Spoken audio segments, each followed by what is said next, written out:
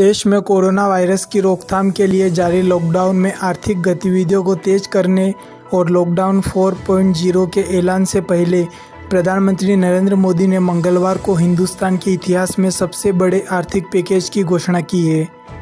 इस आर्थिक पैकेज के ज़रिए उन्हें समाज के हर वर्ग को कुछ न कुछ देने का प्रयास किया है। इसमें चाहे उद्योग जगत से जुड़े लोग हो या प्रवासी मजदूर, कुटीर उद्योग के उद्यमी हो या फिर अधिक टैक्स भरने वाले मध्यम वर्गीय क्यों न हो? हर किसी को आत्मनिर्भर भारत निर्माण के तहत सरकार ने कुछ न कुछ देने का प्रयास किया है। इसके लिए प्रधानमंत्री मोदी ने हिंदुस्तान के इतिहास में अब तक के सबसे बड़े 20 लाख करोड़ रुपए के आर्थिक पैकेज का ऐलान किया है।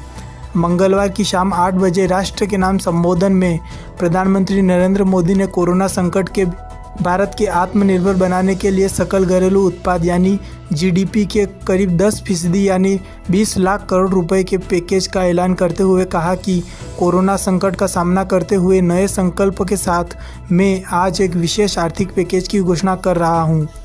ये आर्थिक पैकेज आत्मनिर्भर भारत अभियान की अहम कड़ी के तौर पर काम करेगा। प्रधानमंत्री मोदी ने कहा कि यह आर्थिक पैकेज 20 लाख करोड़ रुपए का है। यह पैकेज भारत की जीडीपी का करीब करीब 10 फ़ीसदी है। कोरोना वायरस की वजह से तबाह हुए दुनिया के कई देशों ने भारत की तरह ही अपने देश की अर्थव्यवस्था को पटरी पर लाने के लिए कई बड़े बड़े आर्थिक पैकेज का ऐलान किया है। तो चलिए देखते हैं दुनिया के कुछ खास देशों के आर्थिक पैकेज के बारे में। एशिया के सबसे विकसित तथा टेक्नोलॉजी में अग्रिम देश जापान ने अपनी जीडीपी के कुल 21 फ़ीसदी भाग के पैकेज की घोषणा की है।